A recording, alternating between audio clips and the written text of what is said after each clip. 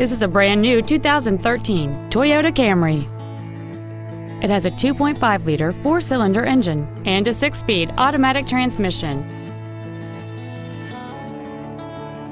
Features include traction control and stability control systems, air conditioning, cruise control, a six speaker audio system, a leather wrapped shift knob, a passenger side vanity mirror, side impact airbags, a split folding rear seat, a rear window defroster, and alloy wheels.